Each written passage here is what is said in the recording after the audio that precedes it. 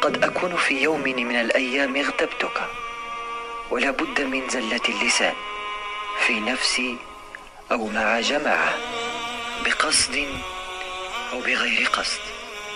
أتمنى أن تسامحني إذا كنت اغتبتك فقد علمت أن الله عز وجل لن يغفر لمن اغتاب حتى يسامحه المغتاب.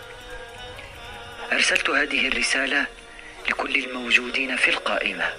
ليس ضعفا مني بل خوفا ممن بيده ملكوت السماوات والأرض.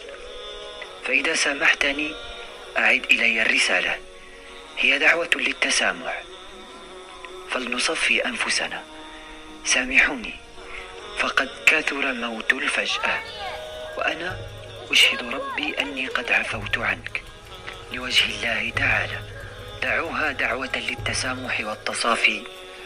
قبل رمضان. دمتم سالمين وإلى لقاء آخر.